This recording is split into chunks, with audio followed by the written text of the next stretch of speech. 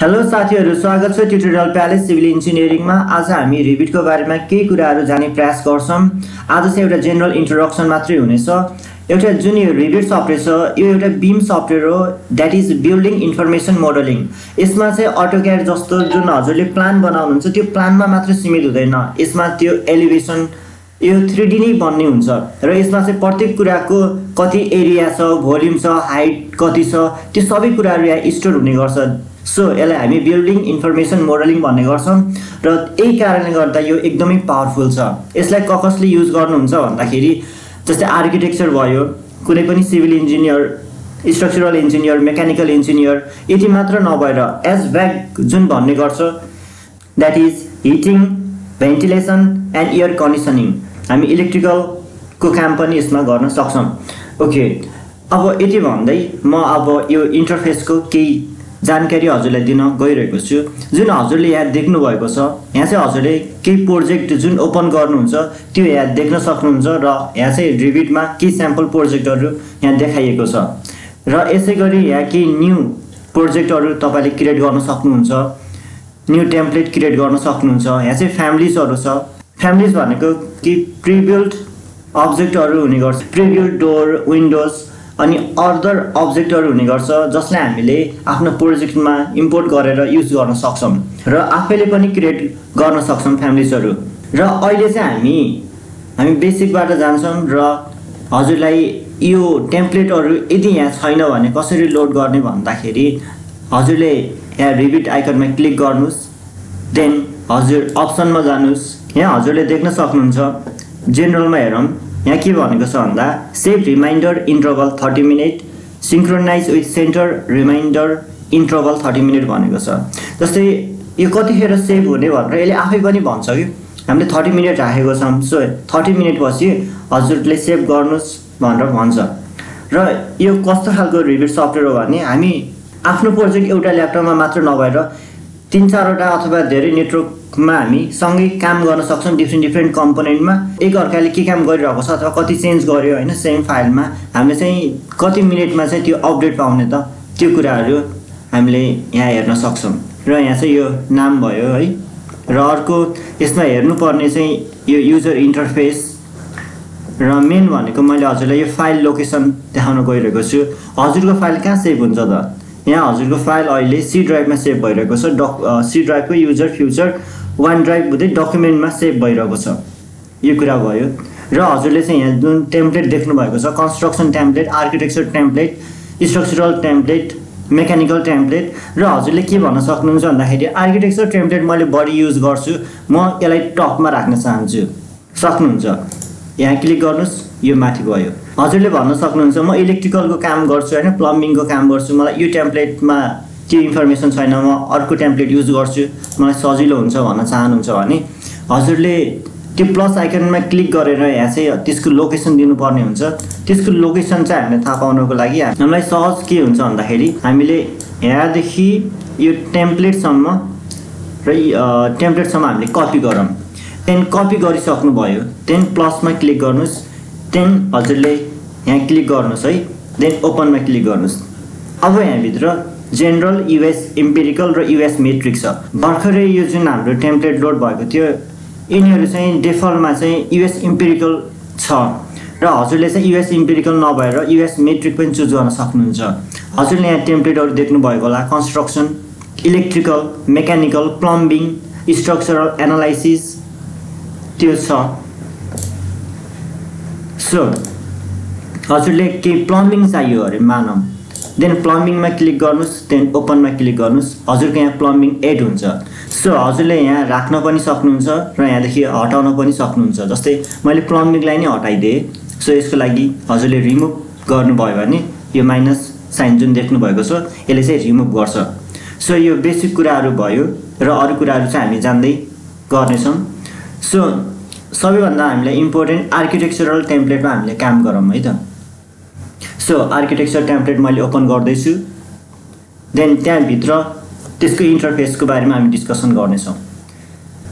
यहाँ हजुरले एउटा के देख्नु भएको छ भन्दाखेरि यो क्विक एक्सेस देख्नु भएको छ। यहाँ हजुरले कुनै पनि फाइल ओपन गर्न सक्नुहुन्छ सेभ गर्न सक्नुहुन्छ। सो यहाँ चाहिँ हजुरले थ्री डी भ्युज हेर्न सक्नुहुन्छ। र यहाँनिर डिफ्रेन्ट ट्याबहरू छ र यिनीहरू रिबनहरू भयो र यहाँभित्र डिफ्रेन्ट टुल्सहरू छ। हामीले यिनीहरूको युज गरेर हामीले वाल डोर विन्डो कम्पोनेन्टहरू बनाउन सक्छौँ रुफ बनाउन सक्छौँ ceiling floor plan staircase ramp railing धेरै कुराहरू छ। जस्तै यहाँ स्ट्रक्चरभित्र स्ट्रक्चरल वाल बनाउन सक्नुहुन्छ फ्लोर बनाउन सक्नुहुन्छ स्ल्याब बनाउन सक्नुहुन्छ त्यहाँ रिभारहरू राख्न सक्नुहुन्छ कन्क्रिट कभर बनाउन सक्नुहुन्छ। सो धेरै कुरा छ जस्तै यहाँ ग्रिड बनाउन सक्नुहुन्छ प्लेन सेट गर्न सक्नुहुन्छ रिफरेन्स प्लेन बनाउन सक्नुहुन्छ र यहाँ सिस्टमभित्र पाइपहरू भयो प्लम्बिङ फिक्सरहरू डक्टहरू लाइटनिङ फिक्सरहरू बनाउन सक्नुहुन्छ। यहाँ इन्सर्टभित्र जस्तै यहाँ क्याट इन्सर्ट गर्न सक्नुहुन्छ इम्पोर्ट क्याट भनेको चाहिँ यहाँ क्याट इम्पोर्ट गर्न सक्नुहुन्छ कुनै पनि इमेज इम्पोर्ट गर्न सक्नुहुन्छ कुनै पनि इमेजलाई त्यहाँ कुनै पनि वालमा तपाईँले सर्फेसमा राख्न सक्नुहुन्छ। यसै गरी एनोटेड ट्याब हेरौँ। एनोटेडमा चाहिँ हाम्रो लिनियर डाइमेन्सन मेजर गर्न सक्यौँ। हामीले radial dimension diameter align dimension detail लाइनहरू बनाउन सक्छौँ हामीले। सो यहाँ यस्तो कुराहरू छ। एनालाइसिस छ यहाँभित्र। सो यिनीहरू चाहिँ अलि अझै एडभान्स टुल्सहरू हो।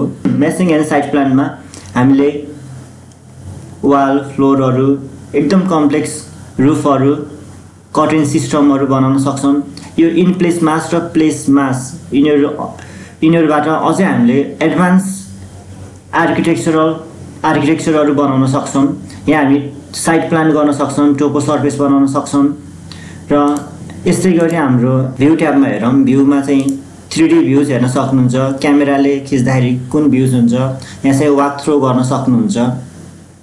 यहाँ भिजिबिलिटी के के कुरा हेर्ने र के के कुरा हाइड गर्ने त्यो पनि हेर्न सकिन्छ। हामीले सेक्सन क्रिएट गर्न सक्छौँ भ्युज गर्न सक्छौँ। यहाँ एलिभेसनहरू प्लानहरू हेर्न पनि सक्छौँ। ओके र अब हामी म्यानेजमा हेरौँ त मेटेरियल हामीले यहाँ क्रिएट गर्न सक्छौँ। यहाँ सेटिङमा गएर केही कुराहरू चेन्ज गर्न सक्छौँ जस्तै फिल प्याटर्न भन्नाले हामी जुन अटोक्याडमा ह्याज भन्ने गर्थ्यौँ सो यहाँ चाहिँ फिल प्याटर्न भनेर छ। हाम्रो लाइन वेट लाइन स्टाइलहरू लाइन प्याटर्नहरू चेन्ज गर्न सक्छौँ।